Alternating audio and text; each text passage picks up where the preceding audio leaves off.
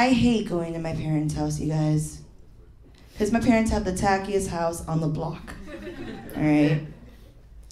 And it's because they keep their Christmas decorations up all year round, okay?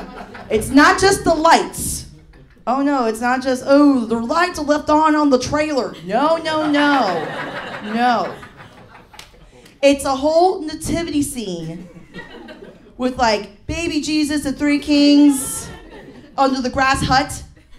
That thing's been out in the sun for so long. It looks like a white albino homeless family living in the front of my lawn.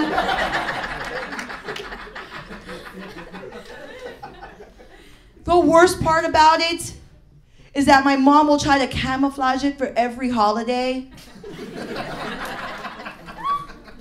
For example, for St. Patrick's Day, she has green shirts that say Kiss Me I'm Irish.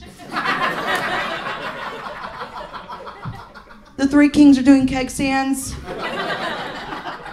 Just Virgin Mary's throwing up as Joseph is holding back her hair. then for the 4th of July, it's a big giant map of the United States with baby Jesus on top. See, mija, one nation under God. Oh, say, can you see?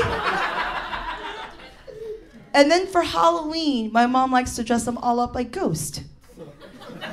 But there's crosses all around. So now it looks like a Ku Klux Klan meeting in the front of my house for the month of October.